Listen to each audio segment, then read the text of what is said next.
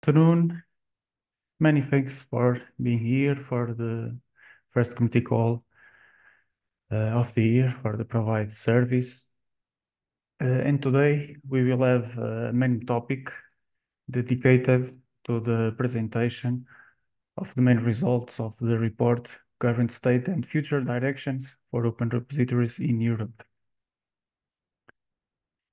Um, and for this presentation, uh, we have Eloy Rodrigues from University of Minho, and I would like to, to thank thank you for, for accepting our invitation to present these main results. So, and today we will have uh, two main parts of our meeting. First part will be dedicated to present this report, and then in second part, uh, and briefly, we will present some updates and novelties regarding the uh, regarding OpenAIRE provide related services. And if, if you have some questions about Provide, uh, you, you, we can dedicate some time at the end also. Um, in first part, so Eloy Rodrigues will be presenting the, the report and we will have also time for, for some questions. So now I'm giving the floor to Eloy Rodrigues. I'm, I stop share my screen. Thank you, Andre. I think you are already seeing my screen, right? Yes. Okay, thank you. Thank you for, for the, the opportunity to, to participate and to present the, the, the main results of the survey of uh, open repositories in Europe uh, that was conducted uh, last year. As Andreas said, I'll try to present uh, uh, some of the main results. Then, of course, you have the, the report is available and you can go through it uh, in around 15 minutes and then to save some time at the end too, so we can have some questions or discussion because I, I'm really sorry, but I have to go in, in half an hour. I have another meeting starting at three o'clock, so I need to attend.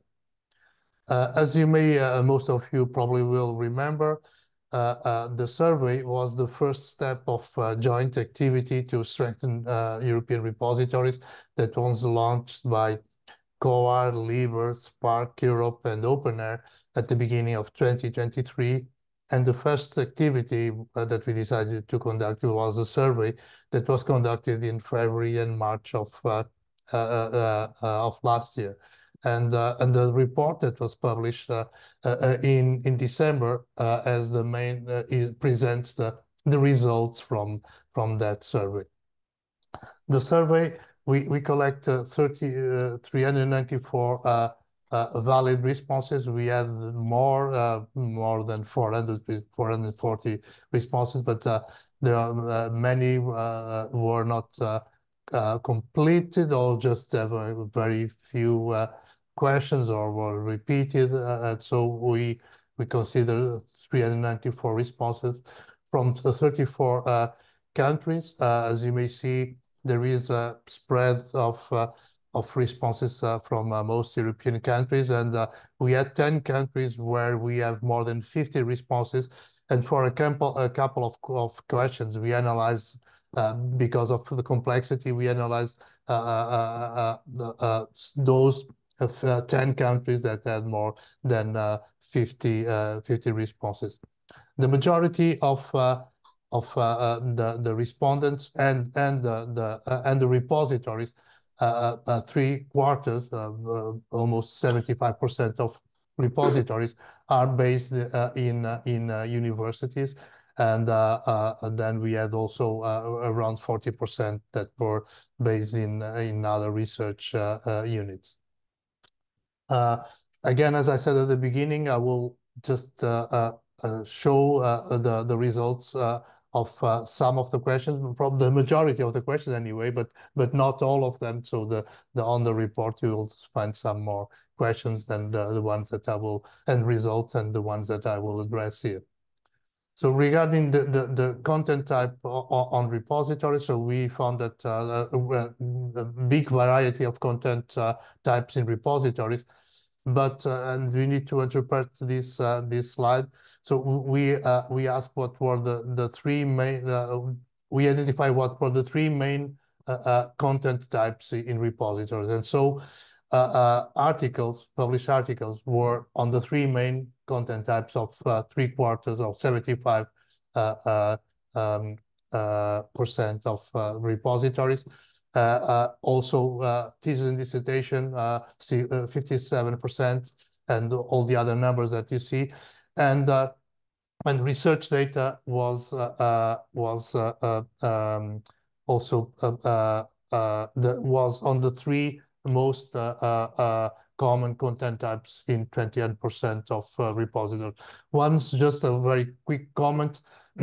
Uh, uh, uh, we had uh, uh, data repositories and publication repositories reply. So repositories when the the, mo the the most frequent content type was data, and repositories were most content frequent the most frequent content type was publications. That was the majority, and on the publication uh, repositories or where uh, publications were the most common uh, content type, we found a great, a great variety of, of content types, while in repositories, on data repositories or repositories where data was the most frequent content type, the variety of content types or, or, or uh, less frequent, so they were more kind of more specialized in, in data. Uh, Regarding the size of the collections, uh, there was also a, a, a huge uh, variety with uh, around 20% or a little bit more than 20% are really small repositories with less than 1,000 um, items.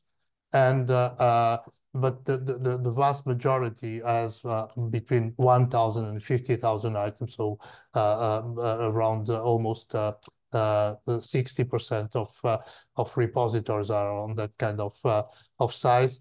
Uh, and then uh, we also have a, a, small number of very uh, big repositories. So uh, Europe PMC has replied also to, to the survey, and they have reported 8 million items on the repositories. Uh, we have done an average uh, uh, for both for institutional repositories and for other types of repositories, so domain, data repository, and national. And for the institutional repositories, the average uh, collection size is uh, uh, roughly around 65,000 items, while for the other types of repositories, the average collection size is close to 400,000 items.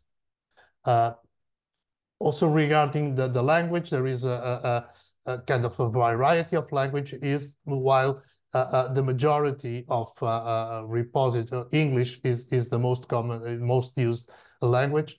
In in, uh, several countries is the is the most used language, but in other countries we have the, the the national languages or the, the the most used, that's the case uh, uh, for instance, for for uh, for Croatia, Portugal, Poland, and, and, and Spain, for for instance. And, and then we have the, the other the other uh, um, uh, English is also present uh, as the second most common language on those countries. We also had a question about uh, the participation or if the repository was part of uh, a national uh, uh level service or network, and we have almost 50-50% uh, uh, replies from 51 said yes and 49 said no. As you can see here, there there is big differences between countries. So there is, for instance, in Spain, Portugal, uh, uh, Croatia, the vast majority of uh, of repositories replied that were part of a national service or network, while in other while in other countries, like for instance Germany, uh, or, Switzerland, uh, the, uh, it was the other way around. The vast majority said that uh, they were not part of national network. And also, uh, uh, while we analyze the, the replies even for country, we understand that that might be some inconsistency on the replies because we are from the same countries, repositories or the same type of repositories saying that they are part of a national service network and others say no.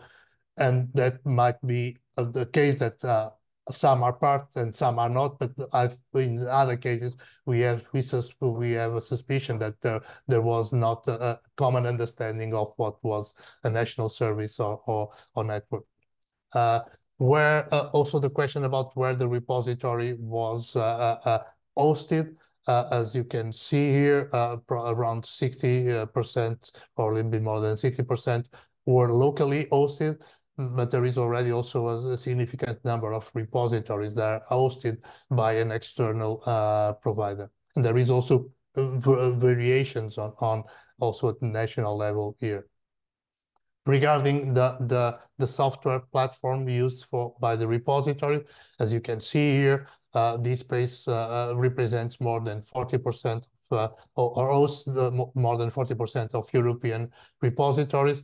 And other very uh, uh, used uh, platforms are ePrint, Fedora, Islandora. There are also other like Invenio, Opus, and and other, and Pure also that were indicated as as um, being used for for the repository. And there is also 80% of locally, so reported locally um, developed the platforms that are hosting the, the repositories. Uh, one very important uh, thing is that uh, more than 60% of repositories said that they have installed add-ons or patches. So they are not they are not running on the vanilla code of the platform, but they have installed some kind of, they have made some kind of localization or add-ons or patches.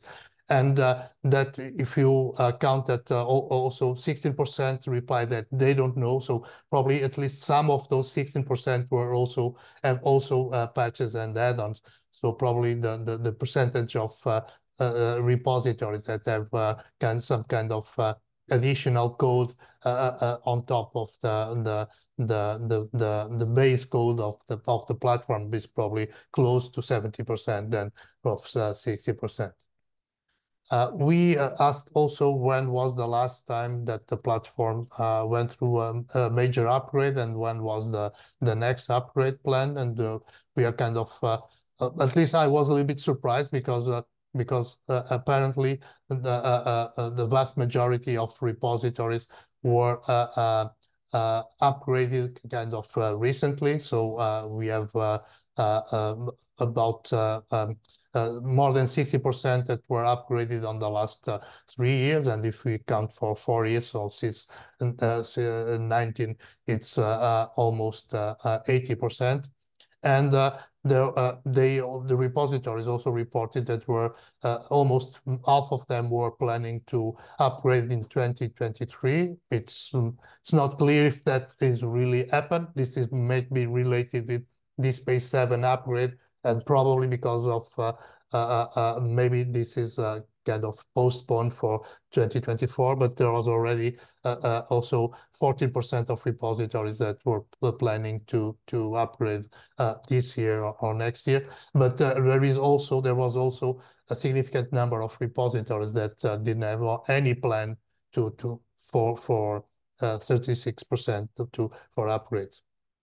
One important, very important uh, aspect for us is that uh, uh, regarding OpenAIRE guidelines compliance, that only 22% of repositories reported that they are compliant with version 4 of OpenAIRE guidelines. And we have more than 25% that say that they are not compliant with any OpenAIRE guidelines and 42% that were uh, uh, compliant with old versions of the OpenAIRE guidelines. So this is something that we need really to take into consideration. Regarding IDs, uh, the regarding um, object IDs, so resources IDs, the majority of repositories are using uh, uh, persistent identifiers like DOIs or handles. So only 10% did not assign any type of of persistent identifier. But uh, the situation is different regarding author identifiers, where the percentage of repositories that are not using any type of author identifiers is significant. It's about one quarter, so 25%.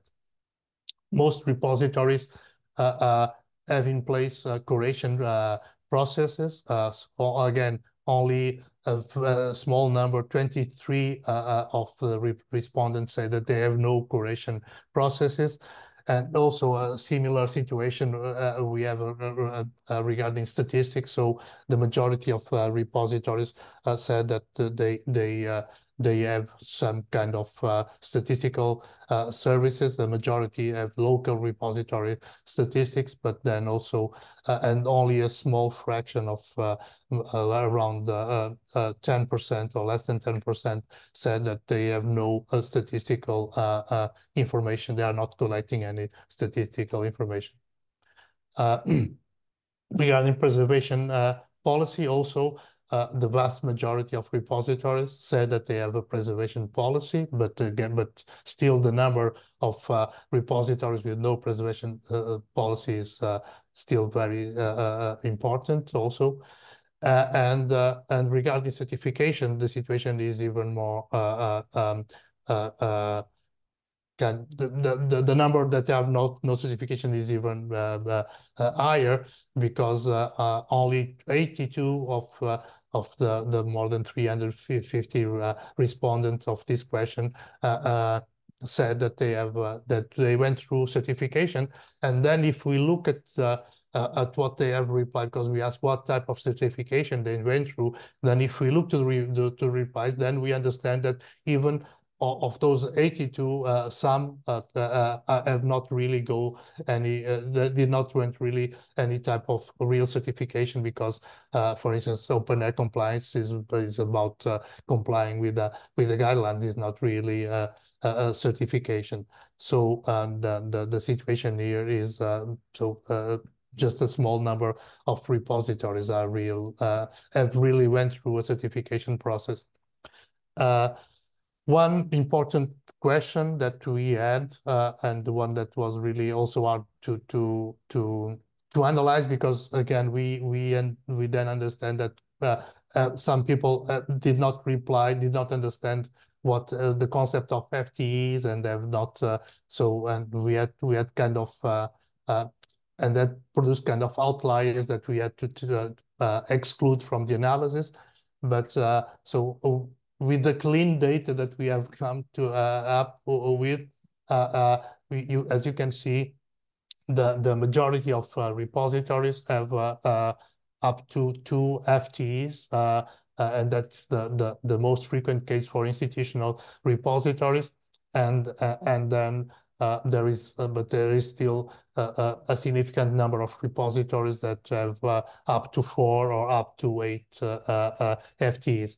But then when we asked uh, how the, uh, the time of those FTEs were applied uh, in, in, the, in the repository, and uh, as you can see, uh, around half of the effort of uh, of the staff effort is is is going to metadata and content curation, and then 27% is effort for the repository manage, manager, and almost 20% uh, is for for technical for technical support.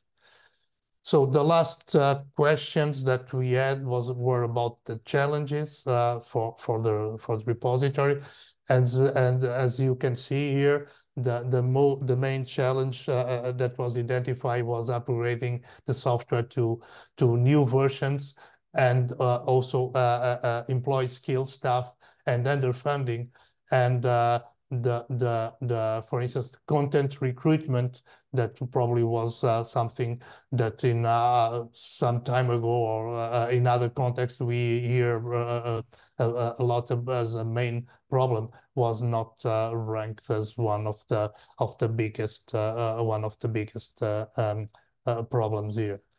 And we asked what type of activities would be most most helpful to to to address the the the, the, challenges, and uh, this is also a bit of a surprise because the the the the thing that was most uh, that is clear that it was ranked uh, first is uh, was advocacy, and and then the uh, uh, the other two were related with community with the community of practice for for technical support and uh, coordination of repositories at national or regional uh, uh, level. We have also significant number of replies for training and a, a lower number uh, of replies for, for regarding a, a, national regional platform for hosting repositories, and this is also something that is interesting. So to conclude and to have at least five minutes for, for questions and take a little bit more time that I, that uh, I expected. Uh, uh, the main conclusion is that uh, uh, collectively European repositories, uh, they really are an important asset and a very important part of the infrastructure for, for the for open science in Europe because they probably collectively they they they they provide access to to tens or probably hundreds of millions of uh, research outputs of different uh, of different types, and uh, uh, uh the majority, uh, so about three quarters of repositories, are based in universities, and the universities are well. long sustained and well established institutions they I think they they they have uh, they provide a kind of a sustainability for the repositories, and the current collections are are being well used by by by the research community and and and not only the research community. But we have identified also three main challenges. one is uh, maintaining the, the, the, the current infrastructure, especially the, the software platforms. So maintaining and updating, especially updating uh, software platforms. Uh, then uh, uh, applying good practices in terms of metadata preservation and and usage statistics. And the third is the, the to to secure appropriate visibility on the scholarly ecosystem. And these challenges were related with three things that are also kind of interconnected. One is the fact of managing uh, local uh, software. Uh, and, and I think the first uh, uh, and the third are in a way also connected. This is one of the strengths, of course, of repositories, the, the distributed nature, and the fact that they are running open source software uh, uh, in in uh, in the in in, in the uh, that replies to, to local needs. But the fact that they are addressing local needs and they have the customization and handouts and patches is also a problem, for instance, for the upgrade of, of, the, of the software uh, platforms. And the distributed nature of repositories makes that uh, in some cases they, they might be uh, uh, working more than Uh, uh, like uh, silos and they are replicating the same activities and having the same problems in, in different institutions, not creating or not being able to create a kind of economy of scale or mm, trying to address some problems and, and challenges on, on, on, on a collective way. And of course, the, the, the, third point is the staffing levels of repositories that is uh, that is low. But uh, uh, also we point out some opportunities. I think uh, on the last year, the last couple of years, especially into 2023, while we were analyzing repository, there is a kind of a change of climate in Europe regarding uh, repositories and, and uh, not-for-profit infrastructures for scholarly communication. And probably the two main examples were the Council conclusions from May and also the, the most recent document from cOAlition S about to, uh, the call towards responsible publishing that uh, really uh, uh, puts the emphasis on, on making the, the scholarly community and scholarly institutions and not-for-profit organizations on the driver's seat of scholarly communication. And this growing interest on, on this model of publish, review, curate, uh, that, uh, that where repositories and preprint servers are really at the center of the system. So uh, on the next couple of months, by the way, we will have the first meeting now in January uh, OpenAIRE, Liber, SPARC, uh uh, uh, uh, Europe, and COAR uh, will will work together to to to develop concrete plans and actions on three main areas. So one is advocacy, highlighting the value of repositories. the second one is to propagate best practices for, for repositories across the, the, the, the, repository community. And the third one on assisting with the creation and coordination of uh, national networks. So as I said, the report is uh, available uh, in uh, uh in Zenodo, so you can uh, go through it.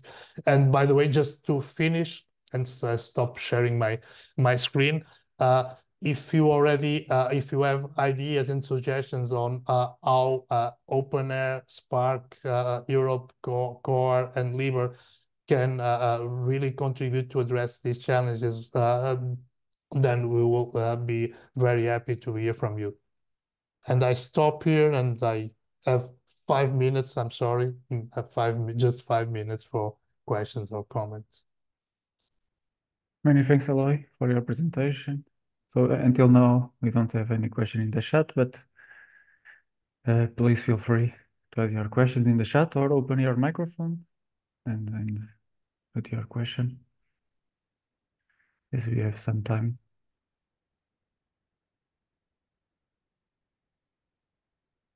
For a comment uh, on the results that yeah. were presented.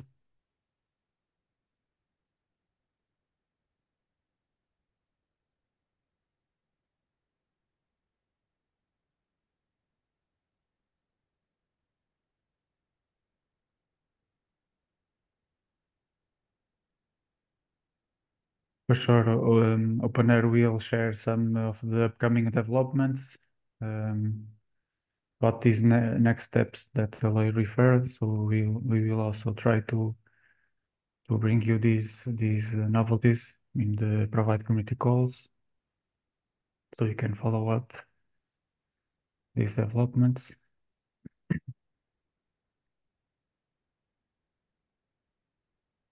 Okay. If we do not have any questions, I think uh, we can move on to the second part. And Eloy, many thanks mm. uh, for your presentation. It was very relevant mm. to to to present these main results, and then uh, people can can go uh, to the report and see more more detailed information if they want to know more. Just, just uh, as we st I still have one minute, let me just stress again this. Uh, so this work, these are the three areas that we have identified. So advocacy, uh, uh, uh best practices, and coordination of uh, uh, of national repository networks. And as I said, we will have the first meeting of the of this organization at the end in a couple of weeks. So if you have ideas or, su or, suggestions on actions that uh, OpenAIRE in the, in, in the case of OpenAIRE uh, that we can take to, to advance uh, on this, we will be really glad and we will welcome your comments and, and suggestions. Okay. So thank you very much. And as I said, I'm sorry, but I really need to go to, to another meeting. Okay. Okay. Thanks Bye. Okay. Bye. Thank you. Bye. So now, uh, we can have some additional minutes. Let me share again my screen.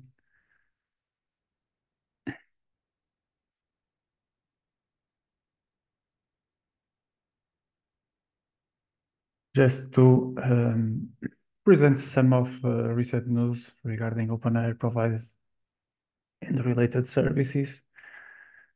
So regarding the index uh, and the statistics update, the current contents that are, that are published in the OpenAIRE portals are still referring to the update that occurred in November last year. However, the, the, the upcoming update um, will occur um, during this month. So in, in, the upcoming days or weeks, the, the contents, the most recent contents will be published.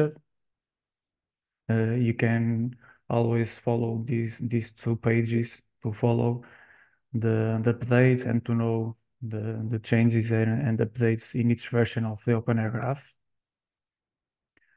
So if you are waiting for some content update or from your repository, um, the updates will occur briefly. Uh, Second update I have is also related with the OpenAIRE Graph update. So this last update from November introduced some novelties, um, and we have here three of them. You, can you can read uh, more detailed information about these updates on these uh, news items that uh, is linked here. So in this version, the OpenAIRE Graph improved the, the affiliation extraction.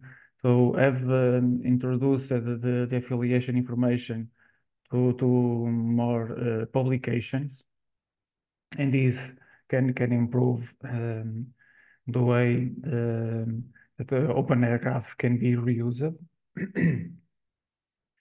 This version also introduced uh, the field of science for additional uh, uh, for and 40 million publications. So OpenAIRE Graph already have fields of science for some publications, but in this version, um, OpenAIRE Graph added for additional considerable number of publications, the fields of science, and you can explore uh, this uh, accessing and searching for publications in OpenAIRE Explorer. One of the novelties is also the integration of uh, citations from the open, OpenCitations POCI dataset. Um, OpenAIRE, uh, in the context of, of uh, OpenAIRE Nexus project that ended last year, have worked with um, OpenCitations, starting to include their dataset, their datasets about citations. So uh, accessing the OpenAIRE Graph, uh, you can also explore this possibility.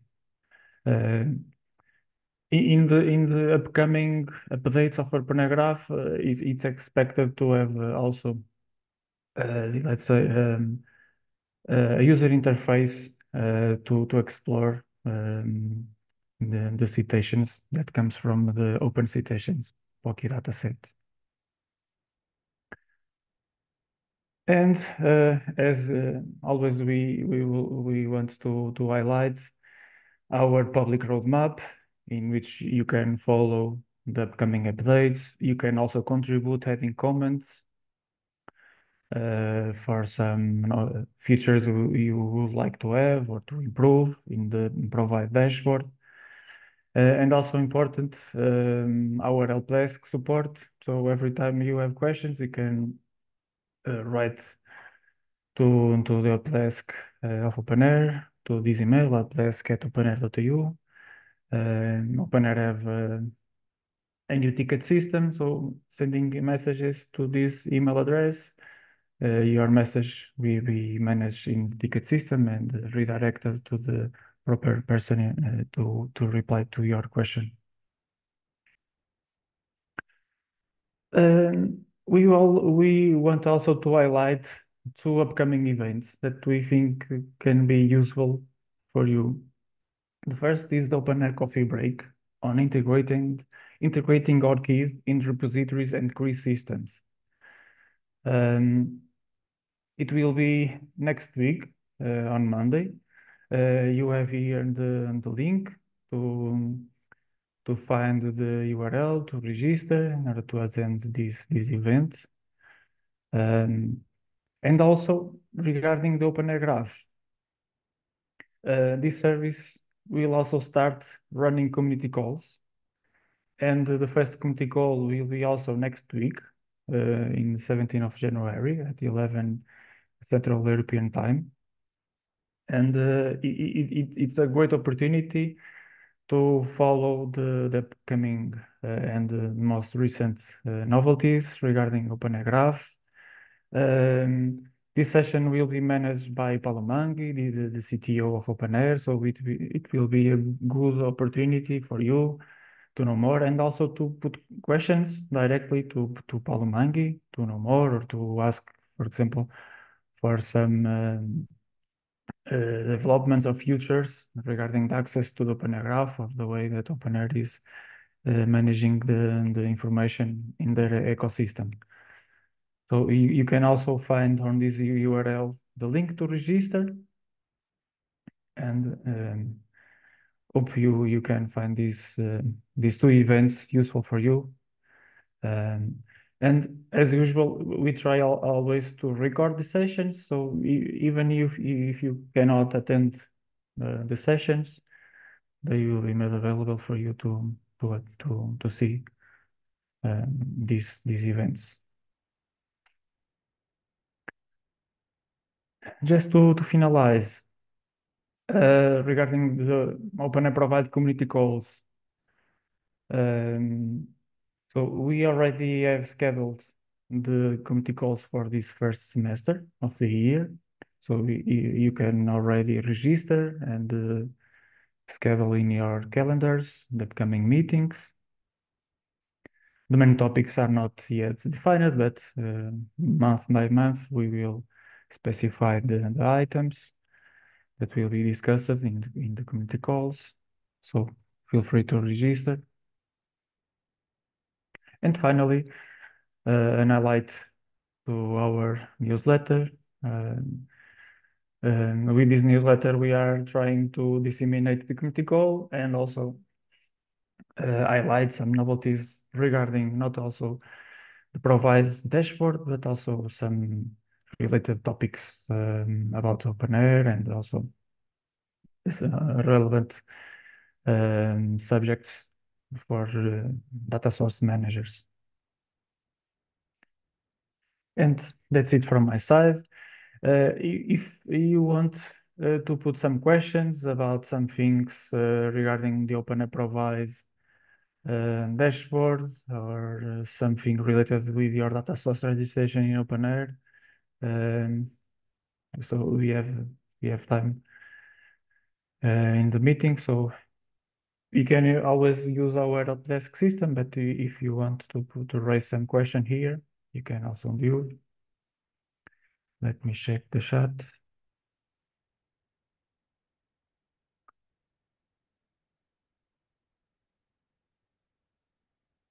Okay, we have here the, the, the link to register in the ORCID session. Thank you, Irina.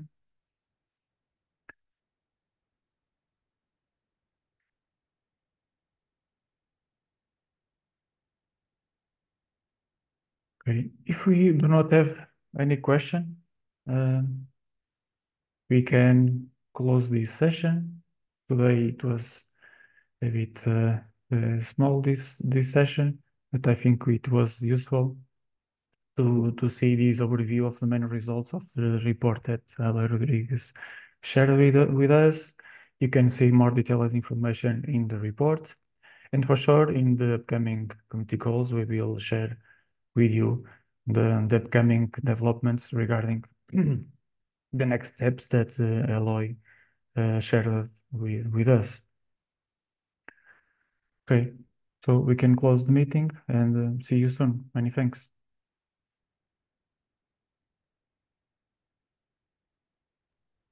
Thank you too.